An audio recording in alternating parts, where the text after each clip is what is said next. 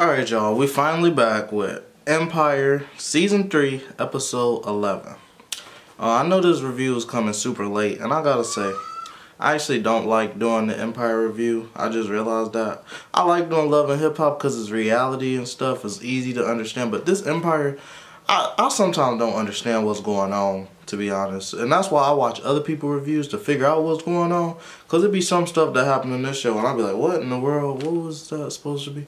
So bear with me because I didn't understand a couple of things in this episode in particular. But anyway, we start off like this first scene. We start off with Cookie. She's showering. And she's like, what have I done? And she's blood is coming into the drain and it's like a lot. And I'm like, where where's all that blood coming from? I was confused. But then I'm like, oh, last episode she touched Lucious on the hand on the face. But I'm like, shouldn't that be just a little bit of blood on her hand? And I was confused. But apparently it was a lot of blood. I don't know where it came from, but she was washing it down the drain. Then we go to Anika, who's at Empire, and she, no, Anika walks into Empire. And she sees everything that happened. She's like, what happened? Lucious, I don't understand this part either. He said, we're still looking over footage. We're trying to figure out what happened, who did this. I'm like, shouldn't you just tell her the truth? I mean, that's Anika. But anyway, whatever. Then Thirsty introduces this girl named Marty, who I thought was a man personally. And she's going to be the mom's, Lucious's mom, new security. And the mom even said. She's like, are you a boy or are you a girl? And I'm like, but he said her, she. Thirsty has said she. So that's how I figured out that the security was a girl. She really do look like a man though. But anyway, the grandma already don't like her and uh, I think the grandma has. To, oh, we seen some uh, video girls walk by, and uh, the grandma had saw Marty, who's the security guard, looking at one of the one of the um, girls in pink. That was a video girl. So the grandma had saw that, had noticed that the security liked the girl in pink. So this is a little foreshadowing for what happened later. Um, the grandma said she had to go to the bathroom. Thirsty said, okay, well, if you got to go to the bathroom, she got to go to the bathroom. If she got to go to the bathroom, you got to go to the bathroom. So Marty goes to the bathroom with Lucious's mom. Then we go to Hakeem, Tiana, and Becky who are doing auditions for, dance auditions for Tiana's new video. Um, Hakeem asked Becky a question and Becky said, well, it's your video Oh, no. Hakeem liked a blonde girl or something like that. And Becky was like, if you like her, then that's great. And Hakeem was like, okay, so we're done. And they're like, no, we still have 50 more auditions. So he was trying to rush the process, which is something I would do. Like, if I see one girl, that's why you should have just had them all. Well, I guess 50 more, that's kind of a lot. But yeah, he was trying to rush their process and hurry up and get out of there. But Becky and Tiana was like, no. Then we see um, Oh, and ha Hakeem wanted, um, what's her name, Tiana, to meet his daughter, Bella. And she's like, no, I'm not doing that. We're not doing that. She has a mom. I'm not trying to play stepmom right now. And she's like, oh, okay. But I do want you, Hakeem's like, oh, okay, but I do want you to meet her eventually. That's fine and good. Then Tiana says, uh, why is your grandma here? Hakeem gets up, goes to his grandma, who's with, of course, Marty, who we just got introduced to. And basically, um, the mom said, can you get that girl in pink, which is the girl that Marty was looking at. The girl in pink comes over. Oh, for some reason, Marty walked away and started watching the performance. I'm like, shouldn't you be with mom? But whatever. Or the grandma, shall I say? Whatever. Then we go to, or then we see um, the grandma asks the girl in pink to take this tissue or something walk over to Marty, the, the big girl, as she called her, drop it on the ground and bend over and pick it up. And the girl was like, uh, is this gonna give me a feature in the video or something like that? And Hakeem was like, just make my grandma happy. And she went over and she did it. And then the grandma said to Hakeem, I want to meet Tiana. That's gonna be Bella's new stepmom. And he went to go get her and the grandma snuck out. Because Marty was looking at the girl in pink and Hakeem had left to go get Tiana. Then we see Jamal and Tori inside the studio. And um, Tori is making these jokes about cocaine constantly throughout the episode, or making jokes about drugs constantly throughout the episode. I think that she might still be on drugs maybe. I'm not I'm not too sure though. Um, and they just start singing. They practicing a song. Then we go to Andre and Nessa, and they were looking at apartments. I think they're about to move in together or something like that. And Andre says that Nessa is real picky, and he want her to like basically give her apartment a chance before before don't turn it down before they walk in, cause she always turns them down. Then we see Freda, Freda Gatz, a bunch of Shines people come in to the wherever they were, and um, we see Freda again, but only for like two seconds. And she's making a drop, and we uh, Shine introduces Andre to Danger, this guy named Danger, who um, is a part of Shine's team or something like that. Andre tried to give Danger a handshake. Danger didn't want to. He's like, I'm not into meeting new people. Shine's like, this not new people. This is family. You're going to have to accept Andre. Um, whatever. I think uh, Danger spit and was like, no, and uh, Sean's like, you gonna have to clean that up. Then we see Angelo who arrives at Cookie's house and Cookie was looking at a paper that said like, I don't know if he was mayor, if he wanted or something like that, but what I got from it was that he was mayor. But then when he comes in, Cookie said, hello, Mr. Mayor, and he's like, it's finished, it's finished. And then, you know, he started kissing her, you know, uh, Angelo noticed that Cookie had a little red spot on her wrist or arm, and she, he's like, "What happened there?" And she's like, "Nothing, nothing special, nothing important." And they start kissing. Um, Cookie Cookie was looking for Lucious inside Lucious' house, and he's like, "One second, one second, one second. He's in the bathroom. He comes out with Anika, and um, Cookie said, you need to want more out of life, honey, something like that. I'm surprised Anika is actually doing stuff with Lucious, though, because I thought she was done with him and didn't like him, but whatever. Cookie and Lucious go at it. Anika had left. Cookie and Lucious go at it. Lucious, or Cookie's like something about last night, and Jamal, uh, Lucious, Cookie told um, Lucious not to mention it and stuff like that. Lucious is like, oh, you did this, you did that, blah, blah. They was all at it arguing. Like usual. Um, Lucious says, where is Jamal? Is he still performing that whack album? And um, Cookie said whack, like um, you the first one to think of the name Inferno. That's whack. Stuff like that. Uh, Lucious said, what's going on between me and Anika is none of your business. You don't want me and stuff like that. Then we see Anika who arrived at the dance rehearsal. Um, talking to Becky. She says she asks Becky about her work basically, and Becky's like, "Yes, I did this, I did that, I did this. All your work is taken care of." She gave Anika a little attitude, and I like this scene because Anika it made me like Anika a little bit more because she said, you know, um, you didn't get the job because you were just Lucious's assistant, and this, that, and the other. In two years, you'll have my spot it was a real heart-to-heart moment between the two. Um, Anika just basically praised Becky for like the whole time. And then um, she said, or Becky said, no, and Tiana came over and said, can you look at this, that, something. She asked Anika something, do something. And Anika said, Becky's in charge. I give her full responsibility. Um, Becky called Anika over. She said, thank you. She gave her a hug. She said, I'm so glad you're back.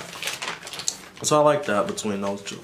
Then we see Jamal and Tori in studio again. They have a little disagreement about something. I think like Tori note or something like that. It was a little too dirty, I guess. And she made another joke about cocaine and crack and drugs, basically.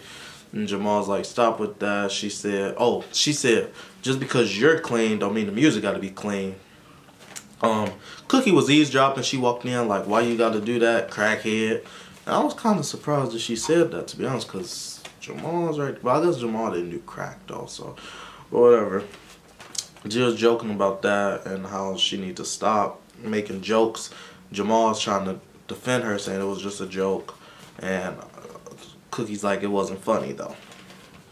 They go at it. Uh, Tori plays a guitar. Cookie agrees with Tori, but says Tori needs to.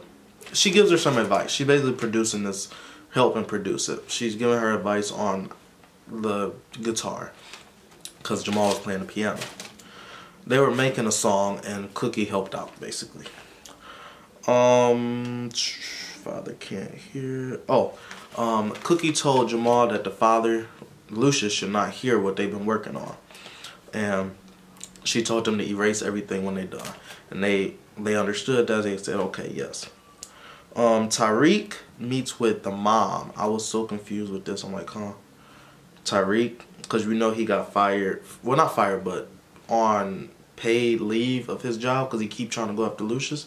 Now he's meeting with the mom. The mom is telling him how she dislikes Anika so much and how Cookie dislikes Anika and she said Boo Boo Kitty. I think this is going to come up a little later because they made sure to put it in. And he was like, who's Boo Boo Kitty? And she explained what where that comes from and stuff like that. Real short scene. Um, but it had to mean something. They didn't put it in there for nothing, you know. We see Jamal and Tori performing in the studio again. Um, Tori tells a joke. Jamal says, don't ever say that again. I think she told a joke about Molly, something like that. And Jamal said, don't ever joke about that again. Nothing important. Just she keeps joking about drugs. Um, Tariq stopped Anika. Um, she was walking down the street. Tariq stopped her. He started questioning her. Here's the part where I don't understand. And I have to watch. I haven't watched the review on this episode yet because I'm doing this. But I'm going to watch some other people reviews and figure out what this was about because I really didn't understand it. He questioned her about something. She said no and some witness protection talk. If you understood this scene, just tell me in the comments below. But it was something. I don't I don't I didn't understand it. So I can't really tell y'all. But Anika basically asks what's gonna happen about my daughter and he says something. I don't know. I don't know what this scene. Basically, it got Anika scared, and I think Anika's about to do something to go against Cookie.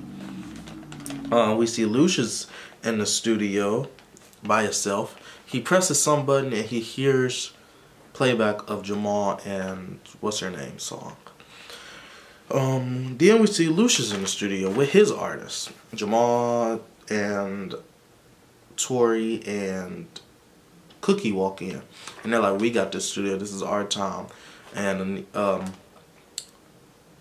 Cookie's like he can't even hear you, Jamal, and she has a flashback of when he in the studio he can't hear her. Um, Lucious tells, oh, they walk out. He made some joke. Of, he said something to Jamal and Cookie. They walked out. Um, the last one to walk out was Tori, and Lucious says, "I like your guitar" or something like that. I like your work, and I'm like, uh oh, he's about to try to snatch her up. Then we see Shine and Shine and Andre in the studio. Shine tells Andre about this guy named Raphael. Um, I don't really understand this part either. I gotta watch somebody's review of what Raphael and him were about to. I know Raphael's about to help them with something, but I don't know exactly know what. Shine tells Andre he knows about the pills that he takes. He says Nessa tells me everything, so you better not ever hit her. Andre says I would never hit her. Um, I think they, they've been going at it for the past two episodes. Shine is starting not to like Andre. But Andre says you have to go along with me or something like that. Um, Shine said the only reason Raphael agreed to meet with him is because he told Raphael that he was going to meet Lucious. And Andre said, well, you tell Raphael that no one meets Lucious until they meet me. Um, Andre says he needs Lucious alive long enough to make some deal. Um, then we see Anika in the park. She's crying, saying, I'm sorry, Bella, I got to do this to you. She's about to do something with Tariq. So that's what I'm getting from this. He, She calls Hakeem. Hakeem has to take the baby. This was so stupid. Well, not stupid, but Hakeem acting like he can't take the baby. Like, it's not his baby. Like, why didn't you call this person? Why didn't you call that person? She's like, this, this is not their baby. It's yours. So he had to take the baby. He acted like he was so mad to do it. But whatever. Then we see Cookie inside Empire and her assistant, I forget her name, but she told Cookie that these suspicious people are looking for you. Cookie looks at the people. She calls um, Angelo to come pick her up. He picks her up. She gets in the car. She's like, these people looking for me, this, that, and the other. Um, Andre figured finds out that they're violating her parole for hanging out with a known felon she's like, I don't know why, what that got to do. Like, all these artists is felons, stuff like that.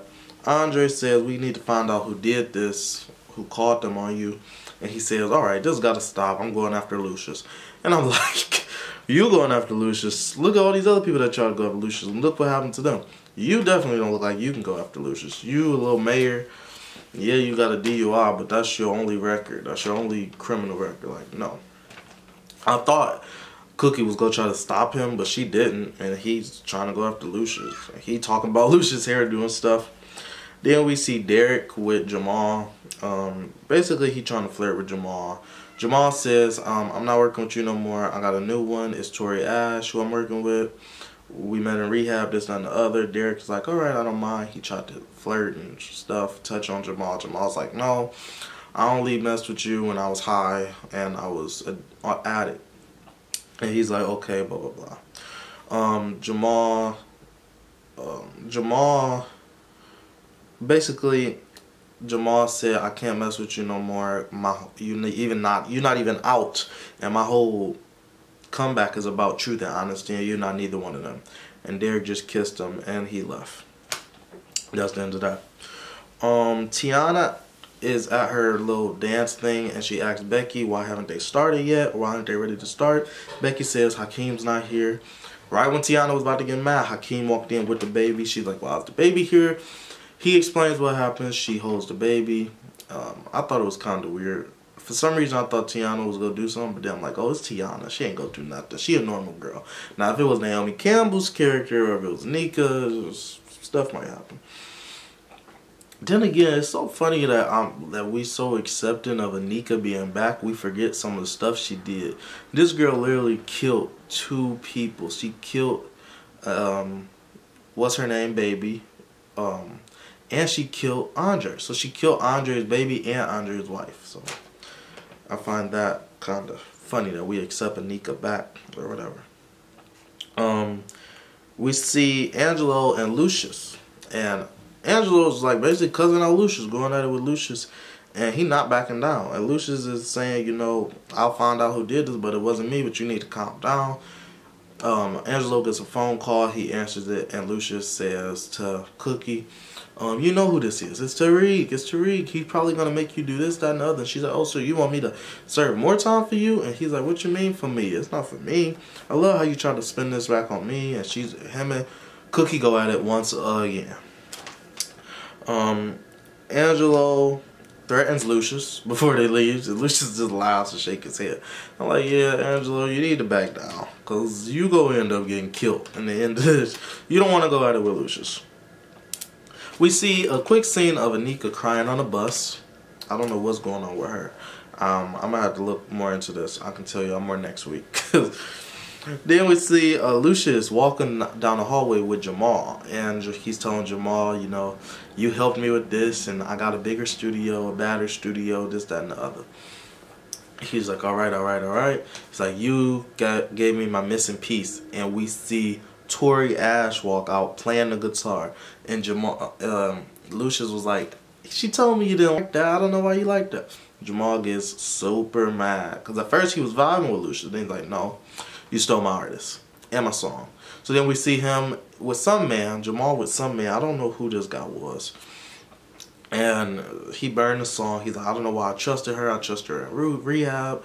This, done the other. And him and the man, um, oh, the man, he started telling him more about Tori. They burned the song and him and the man kiss. Not special. Jamal, never mind.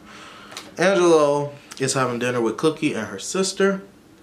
Angelo says Cookie can't stay tonight unless they're married. The sister agrees. She says it's about time my sister have a real wedding. We get a flashback of Cookie and Lucia's first wedding and how it was at a potluck, some stuff like that. Um.